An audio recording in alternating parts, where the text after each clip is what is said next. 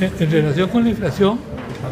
eh, la inflación en el primer trimestre creció más o menos 4.1, en el segundo semestre eh, ha crecido 1.2, lo cual quiere decir que la, inflación, eh, digamos, poco a poco ha ido buscando un nivel más adecuado. nuestra proyección ha sido que en el segundo semestre del año entrante la inflación se va a acomodar dentro del plan y, y eso, eso lo mantenemos.